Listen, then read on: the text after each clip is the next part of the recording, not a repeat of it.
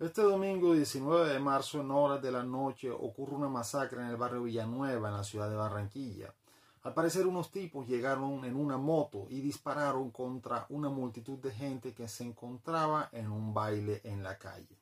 Cinco personas muertas y una decena de heridas deja este atentado, que es la información que se tiene por el momento.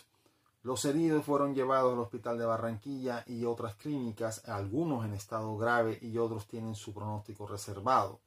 Hasta ahora no se sabe quién fue el que cometió esta nueva masacre y tampoco se sabe cuáles fueron los motivos.